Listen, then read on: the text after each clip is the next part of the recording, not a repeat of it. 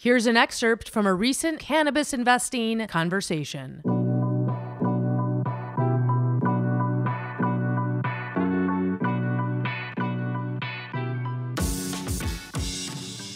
Welcome back to Investing Experts. My name is Rena Sherbel. It's great to have Jesse Redmond, cannabis analyst extraordinaire, talking cannabis, stocks, and investing. Any articles discussed today, you can find links to them on our show notes, and all episodes have transcripts available on Seeking Alpha. And for those wanting to follow breaking news and general news coverage of the markets, come listen with us at Wall Street Breakfast. We have morning episodes released before 7 a.m. Eastern and afternoon episodes released around 12 noon Eastern. We've got Wall Street Breakfast and Wall Street Lunch for all your market news needs. I think it's okay to be bullish right now. And I think it's okay to also just be cautiously optimistic. You know, we've been through a lot of pain. You know, Rena, I started my investment career uh, right around 1997, and I was at Fisher Investments during the NASDAQ bear market. And that bear market felt felt like it never was going to end, and it was 929 days. Guess what? The MSOS drawdown lasted 931 days. And so there's some quote about history doesn't repeat itself, but it often rhymes. And so even having gone through that NASDAQ experience in that painful bear market, I was also managing a hedge fund during the great financial crisis in 2008. So I've been through some pain before, but the duration, the 931 days, and the magnitude of the drawdown, 92%, was a really tough thing to deal with. But on the other side of that, there's all there's uh, there's typically a lot of opportunity. Typically, when things have gone down a lot, there's a lot of opportunity on the other side. And I think that could be especially true here because things are actually, you know, I shouldn't say that. There's evidence that things may be significantly changing. Like before, we were getting excited about safe banking, which I still think is important, but this move to Schedule 3 is by far and away the single biggest thing that could happen to the cannabis industry because we get rid of 280E. And I think if you combine, you know, we think about cannabis being a state-led growth story with a series of hard-to-time political catalysts. That's always been our thesis on it. And I think we're starting to see those two pieces come to come together, where I think the fundamentals are improving. There's some opportunity for new states to open. And if you pair that with the potential for one, possibly even two political catalysts, I think there's a lot of could be a lot of opportunity in the space moving forward. Okay, so what what companies you mentioned kind of the broad strokes of what you're focused on or what investors should be focused on. What exactly does that look like? And I'm also interested in what metrics you're you you're using. Yeah, so I think the kind of companies you want to own probably depends on your risk appetite, number one, your time frame, number two, and number three is how quickly do you think these political catalysts are going to happen? So if you look off of the bottom, Rena, so or since since August 30th, the big so if you look at MSOS, and this is on September 12th, so this could change, you know, will change by the time the episode comes out. You have MSOS up about 70%. You have Ayr which which was you know which was having a really tough year, up 230%. You have Columbia Care up 190%, and then you have Canopy Growth up 300%. So if you are a more speculative trader, I always focus on those things that have gone down the most, those things that have a lot of short interest, and those things that will benefit most from removing 280E. So businesses that really need that additional cash flow, businesses that might have a higher debt load that are looking to do some refinancing. And again, Columbia Care was really heavily shorted into this uh, rally. And I think that's the reason it's gone up a lot. I built something, Rena, um, called the Cannabis Cash Flow Portfolio. And what that does is it takes the eight operators that in 2022 had tax adjusted operational cash flow. And so that means cash flow from operations, then accounting for if they were paying their taxes. And I built that as kind of a proxy for quality to see how that was doing this year against uh, MSOS. You know, we lack proper benchmarks in the cannabis industry. So MSOS is an ETF, but it's also, you know, often used as a proxy or a benchmark. And so coming into this event, coming into August 30th, the cannabis cash flow portfolio was outperforming MSOS by 20%. And so these were generally a little bit smaller companies, but you had GTI there, you had MariMed, you also had smaller companies like Grown Rogue, C21. There were eight different names in there, but this higher quality cash flow portfolio was outperforming during the downturn. And that's fairly common. You know, perceived, you know, stocks perceived as higher quality tend to do better and hold up, you know, hold, hold up better in a bear market. However, this has you know completely shifted since the bounce and over this last two weeks now it has underperformed by 32% and so this is common you know not just you know, within cannabis but across you know d- different sectors and even you know uh, looking at that nasdaq bear market that ended in the early 2000s it was the smaller more beat up names that bounced most off at the bottom. So here we are in a year where what worked for most of the year reversed and the factors that mattered you know are completely different and so i think my, what i would be inclined to do rena is still focus on the, the higher quality names you know examples of those are you know someone like green thumb industries i think continues to be the class of the cannabis sector MariMed, which is a name we cover, I think is excellent as well. Strong balance sheet, excellent revenue growth, seasoned management team. And so I think long term, I would focus on those higher quality names that aren't as reliant on debt markets, that have leverage into new states that are opening. However, if you are a more speculative trader, there still could be opportunities in the names like your Ayrs and your Columbia Cares, which were down so much coming into this. One thing I would caution investors about is owning Canadian stocks. And that's not to say there aren't quality Canadian names, there absolutely are. But if you think about what 280E removal means, that applies to US plant touching operators. So while you may see these other businesses benefit and ancillary companies fall a bit into that category as well, I think it's the ones on the OTC, the ones that are plant touching, the ones that could potentially uplist down the road as well, that have the most leverage to this type of to, to this type of move. And so we've, you know, ancillaries haven't participated as much in this rally. And I think that makes sense. You know, they're not subject to this 280E. They could benefit because the people that generally use their services are these plant touching operators. And as their businesses get healthier, they will have more money to spend on these ancillary services. So I'm not bearish on ancillaries. I'm not even bearish on Canada. And I'm not against diversifying a portion of your portfolio into those types of things. But I would I, I would put the emphasis on high quality U.S. plant touching operators. Do you feel like M and A is going to keep, uh, not keep, is is going to pick up? A with this news, maybe if some catalysts develop. What are your thoughts on M and A kind of going into this new year? Yeah, I think we will see more M and A. I think maybe some smaller operators getting acquired yeah. by larger operators. Um, when you look at the larger operators, the challenge uh, challenge is the overlapping assets, and so most states have a cap on the number of stores uh, that, that that one operator can own. So in New Jersey, that's just three.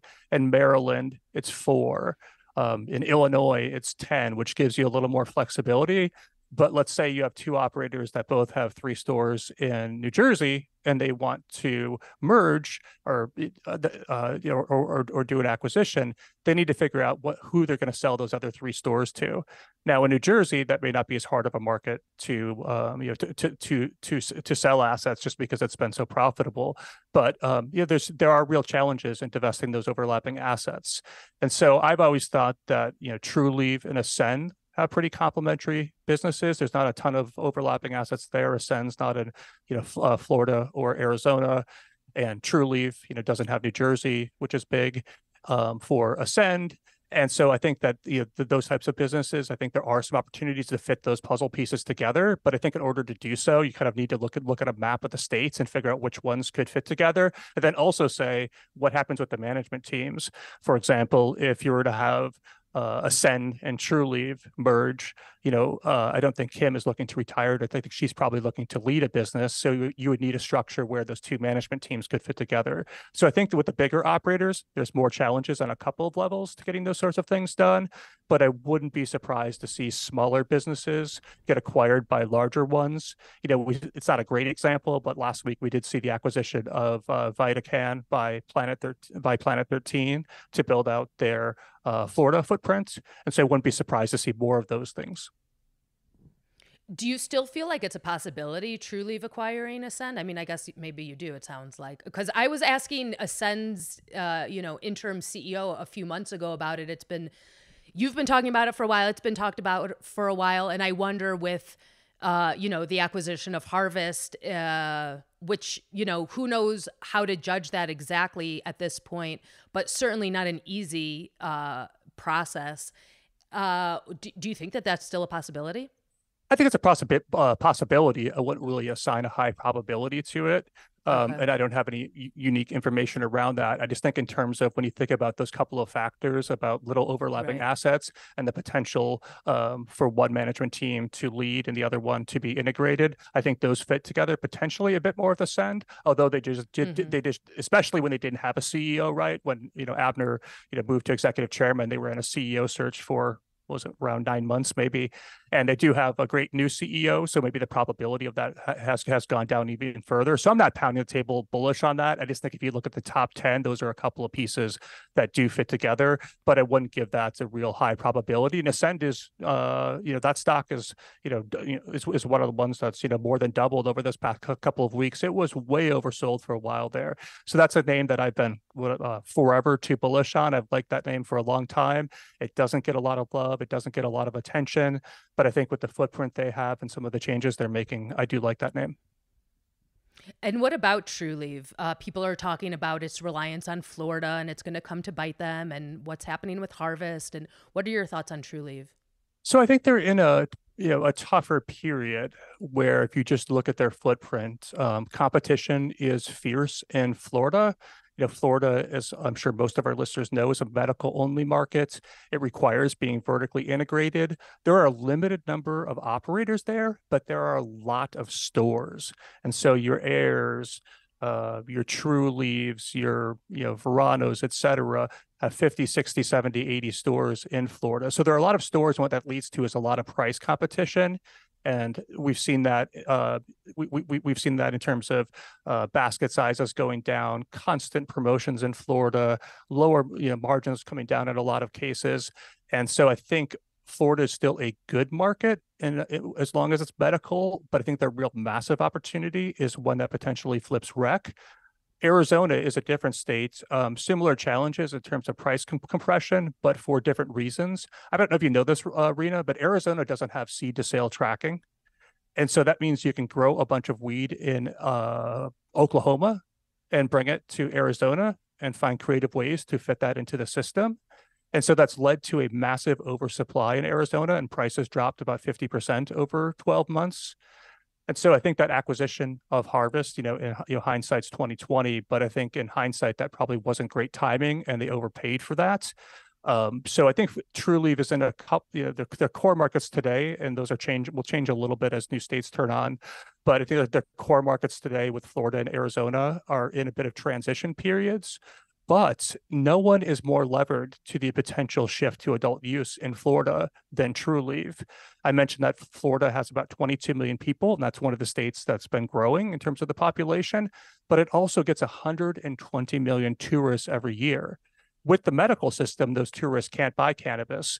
But if they flip to adult use, anyone over 21 that's a snowbird, you know, coming down from where we're from, um, Rena in the Midwest. I know lots of people from Minnesota that go down there, but also the spring breakers. If you're over 21, they could buy cannabis. And the cruise ships is another interesting one. Um, Sunburn has a great location. I think they acquired it from Bedman in Key West.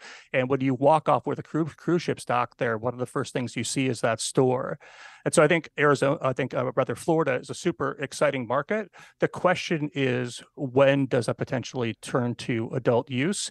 And is a you know, possibly we see that on the ballot in uh, 2024. And if that were to get on the ballot and ultimately pass, that would, you know, be a massive catalyst for Trulieve. And Trulieve's been one of the more beat up names coming into this that had, that had gotten fairly cheap.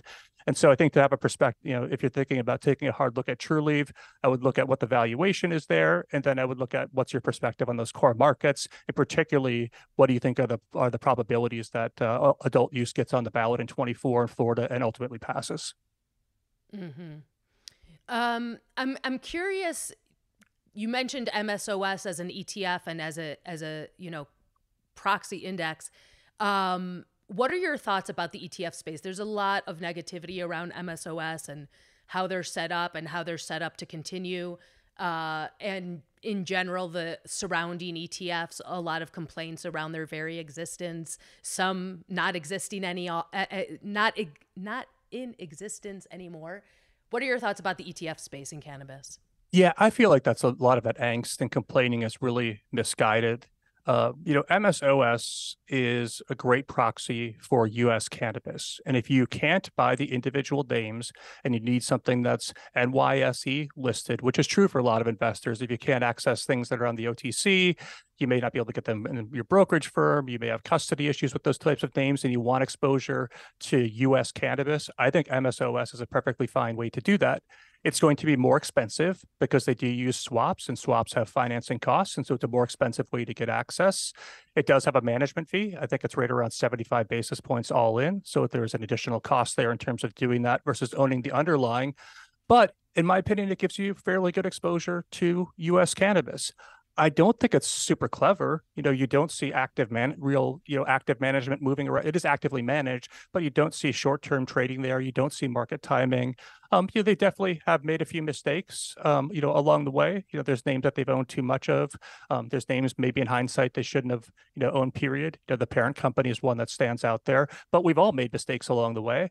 Um, Not me. Yeah, I know. You know, you you, you would Just you, kidding. you would never you would never own the parent company. I would, would never you? own the parent company. No. Uh, yeah. Um, and so yeah. So but and there's names awkward that, laughter. Yeah, exactly. and there's names uh, that they don't own. Like it's super interesting. They don't own Ascend you know that's the only you know I think top twenty ish name that they don't own, and certainly the only top you know t- top ten name that they don't own. So you know I think we could have different opinions on how we might you know go about running an ETF like MSOS. But if you want exposure to U.S. cannabis, I don't think that's a terrible way to go, and I don't fully understand all the complaining around that. There are other options. Uh, you know, our friends at Poseidon, you know, did close down PSDN, and that was uh, my favorite cannabis uh, ETF. So that's not available anymore. You do have Tim Seymour, who I think is a bright player in the space with CNBS. If you want global exposure through advisor shares, you have uh, YOLO. Um, you know, there's there's the you know weed has good exposure to the top five names, so that's another credible option. So there's a bunch of different ones, uh, d- different ones out there. Um, I would I would probably start by deciding: Do you want exposure to global, or do you want exposure to U.S. only? If you want exposure to U.S. only, then uh, MSOS or the ticker, you know, weed are probably good ways to do that. If you want to get some Canadian exposure, um, some more global names in that kind of portfolio, then maybe a CNBS or a YOLO would be a better fit. But I think part of the complaining arena is that when a space is down 90%, uh, you know, who's going you know, who's going to get super excited about the ETFs in the space? And so I feel like there may be a little bit of collateral damage for what's gone on more broadly. And I guess my closing thoughts, Rena, would be just going back to where we started, where cannabis is a state led growth story with a series of hard to time political catalysts. And we went through a really hard period. And I think for valid reasons, we went through a hard period. Prices were coming down. We didn't have a lot of new states opening, and we were seeing zero political progress. And that led to 931 days of pain and a 92% drawdown. And I think there's reasons to be cautiously optimistic. It feels like things are starting to improve. Going back to the beginning with Morgan Paxhia saying it's okay to be bullish. I agree with those sentiments and I'm excited to see what what takes place in the second half of the year. Absolutely. Amen. Here's to here's to better news. And uh, anybody wanting to know more about cannabis investing, definitely search Jesse out either on Water Tower Research or on Twitter. You won't regret it. He's got some great analysis.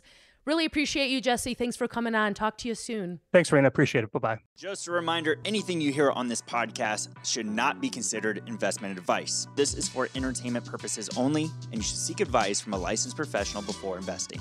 If you enjoyed the episode, leave a rating or review on your favorite podcasting app, and we'll see you soon with a new episode.